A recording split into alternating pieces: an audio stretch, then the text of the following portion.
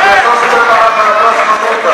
Matheus Nascimento, cabeça Muay Thai, corner azul. E Pedro Felipe, Itamar Top Game, corner vermelho. Atenção pessoal, mais uma vez, por favor, utilizar as máscaras aí, muita gente sem máscara, atleta, professores. Agradeço pela compreensão aí, por favor.